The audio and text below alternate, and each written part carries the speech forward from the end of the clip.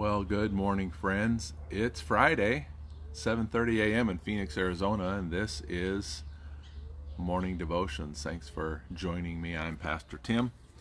And on Fridays, we do this little ritual that we call Friday socks. So we're going to show you the socks in a little bit. But let's talk about the word this morning. Where have you put your hope? Where have you put your hope?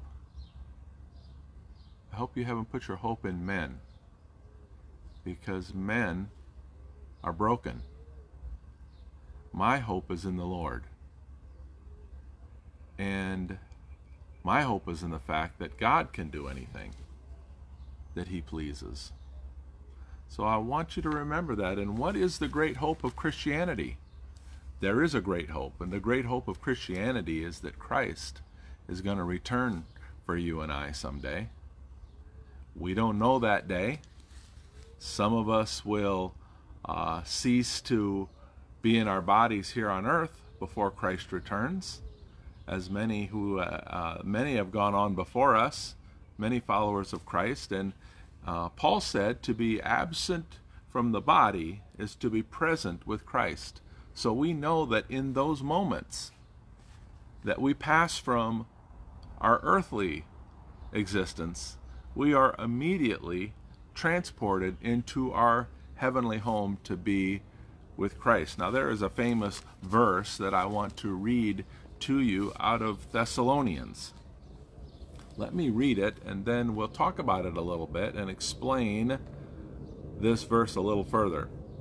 This is what it says. Now, uh, this is 1 Thessalonians 4, and I'm going to start with verse 13. It says, And now, dear brothers and sisters, we want you to know what will happen to the believers who've died, so you will not grieve like people who have no hope. This is often a verse read at funerals that we as Christians do not grieve the loss of a loved one like those who are unsaved and those are in the world, those who are ungodly, the way they grieve. Because as far as they're concerned, this person they will never see again.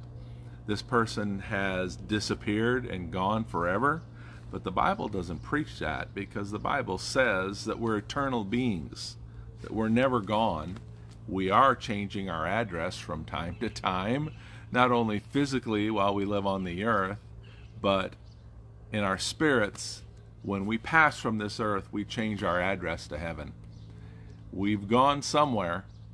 It's a long ways away from this earth, but we have not disappeared. No, we still exist, but now we exist in heaven. Let me go on to read this. For since we believe that Jesus died and was raised to life again, we also believe that when Jesus returns, God will bring back with him the believers who have died. When Christ returns, he will bring back with him the believers who have died. Now remember that because we've got something else to read here. Starting with verse 15, we tell you this directly from the Lord. We who are still living when the Lord returns will not meet him ahead of those who died.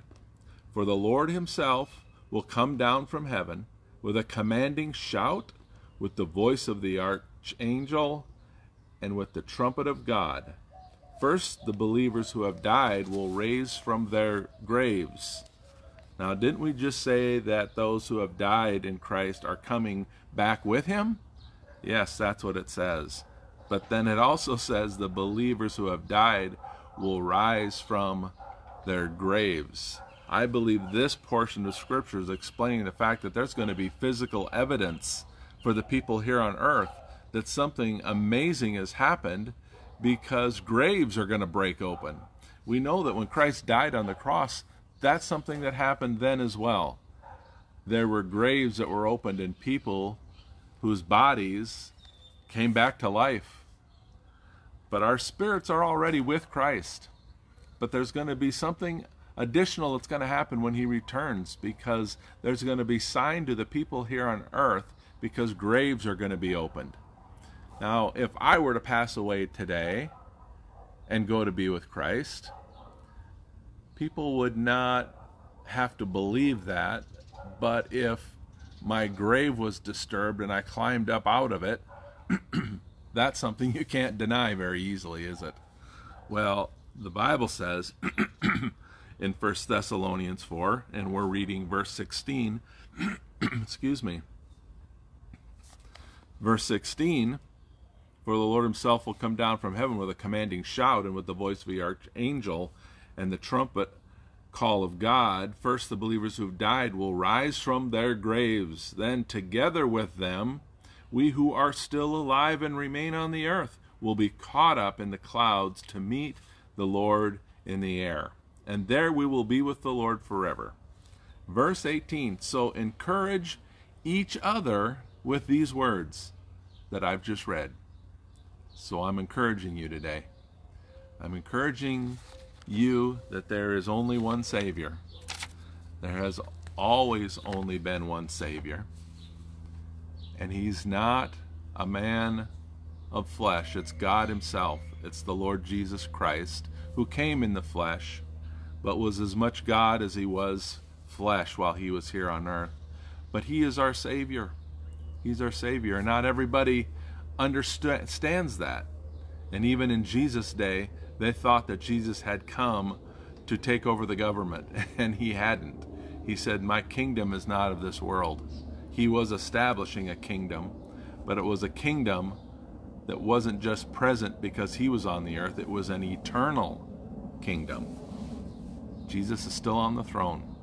Jesus is our hope. He is our Savior. Let's pray, God. We thank you today that our trust is in you that even as the world changes around us, we don't need to be tipped over by that because the kingdom of God is not of this world. This is not our home. This earth, America, Arizona, Phoenix, Glendale, that's not my real home. That's a place I'm passing through. And although things around me may look like they're being shaken, you're never shaken because you're the rock that doesn't move. You're the place that I stand today. I stand in you, the eternal God of heaven, the one who I serve because he gave his life for me that I might be redeemed. So, God, let us make sure that we're not shaken by the things of the world because we stand on a rock, and that's you. The Bible says, He who builds his, his uh, house on the sand, it's going to fall. But when you build on the rock, it's going to stand. And that's where we want our lives to, to proclaim that's where our lives are today. They're, they're being built on a rock that doesn't ever pass away. And Lord, we thank you for your kingdom and for where our hope should be. We pray these things in Jesus' name. Amen. Amen, friend. Amen. Well, you know, when I face the camera towards me, or any of us do, that means that the writing on our shirts, if we have anything, is backwards. But it means I can see you and I can see your comments at the same time, friends. Now, listen, we got to look at the socks. Now, I have wore socks like this before. Let's take a look, but it's not the same. It's not the same sock. It's just the same, same kind of sock, I guess. Let's look. Wait a minute. Wait a minute. Hang on.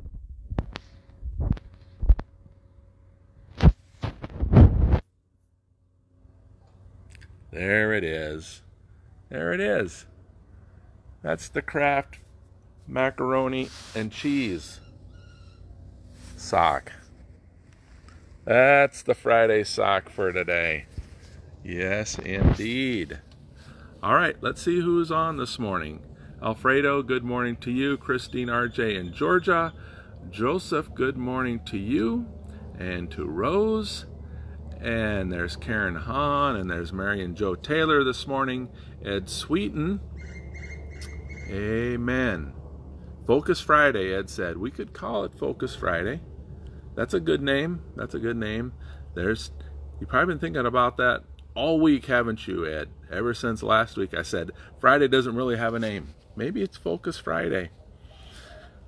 Terry Guerrero in Nebraska. There's Al Poma this morning and V. Duffy. and D. Roush this morning, and Rose in Belize this morning, Don Jean, who lives in Belize once in a while, and in Phoenix the other once in a while. He's here at the moment. And Joe Helm, good morning to you. And Levon, good morning, Levon. God bless you all for tuning in this morning. Remember who the rock is. Let's not be shaken by the world because Jesus is the rock. He's the hope, He's the future. Amen. Susan Stewart, good morning to you. Well, that's it for everybody that I can see online at the moment. Thank you guys for joining me. God bless you and have an awesome day today in Jesus, a great weekend, and Sunday should find you in church, friend. God bless. Bye bye.